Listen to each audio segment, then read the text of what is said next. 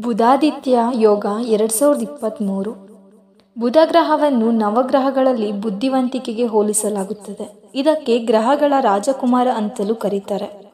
ಜಾತಕದಲ್ಲಿ ಬುಧ ಗ್ರಹ ಬಲವಾಗಿದ್ದರೆ ಬುದ್ಧಿವಂತರಾಗುತ್ತಾರೆ ಎಂದು ನಂಬಲಾಗಿದೆ. ವೈಜ್ಞಾನಿಕವಾಗಿ ಬುಧ ಗ್ರಹವು ಸೂರ್ಯನಿಗೆ ಅತ್ಯಂತ ಸಮೀಪವಾದ ಗ್ರಹ.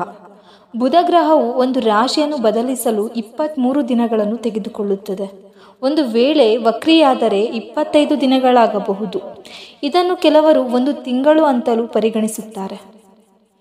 ಫೆಬ್ರವರಿ ಏಳು ಎರಡು ಸಾವಿರದ ಇಪ್ಪತ್ತ್ಮೂರರಂದು ಬುಧಗ್ರಹವು ಮಕರ ರಾಶಿಗೆ ಚಲಿಸಿ, ಈಗಾಗಲೇ ಮಕರ ರಾಶಿಯಲ್ಲಿ ನೆಲೆಸಿರುವ ಸೂರ್ಯನ ಜೊತೆ ಸಂಯೋಗ ಹೊಂದಿ ಬುಧಾದಿತ್ಯ ಯೋಗ ರೂಪುಗೊಳ್ಳಲಿದೆ. ಬುಧಾದಿತ್ಯ ಯೋಗದಿಂದ ದ್ವಾದಶ ರಾಶಿಗಳ ಮೇಲೆ ಪ್ರಭಾವ ಬೀರಲಿದೆ. ಕೆಲವು ರಾಶಿಯವರಿಗೆ ಲಾಭವಾಗಲಿದೆ. ಇಂದಿನ ವಿಡಿಯೋದಲ್ಲಿ ಬುಧನ ರಾಶಿ ಬದಲಾವಣೆಯಿಂದ ಯಾವ ರಾಶಿಯವರಿಗೆ ಲಾಭವಾಗಲಿದೆ ಎಂದು ತಿಳಿದುಕೊಳ್ಳೋಣ.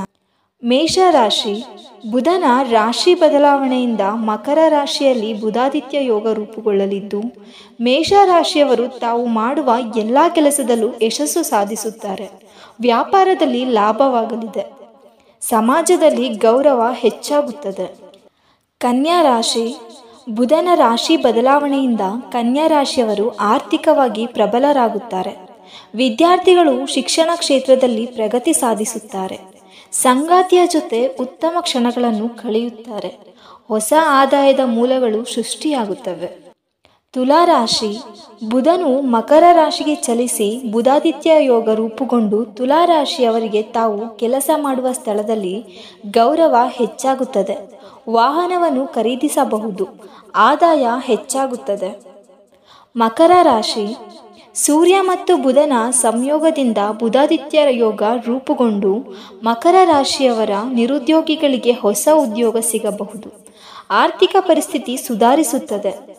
ಹೊಸ ಮೂಲಗಳಿಂದ ಹಣ ಅರಿದು ಬರಲಿದೆ. ನೀವಿನ್ನೂ ನಮ್ಮ ಚಾನಲ್ಗೆ ಸಬ್ಸ್ಕ್ರೈಬ್ ಆಗಿಲ್ಲ ಅಂತ ಅಂದರೆ ಸಬ್ಸ್ಕ್ರೈಬ್ ಬಟನ್ನ ಒತ್ತಿ ಪಕ್ಕದಲ್ಲಿರುವ ಬೆಲ್ ಐಕಾನ್ನ ಪ್ರೆಸ್ ಮಾಡಿ. ನಾವು ಅನುದಿನವೂ ಪೋಸ್ಟ್ ಮಾಡುವ ವಿಡಿಯೋಗಳ ನೋಟಿಫಿಕೇಷನ್ ಬರುತ್ತೆ.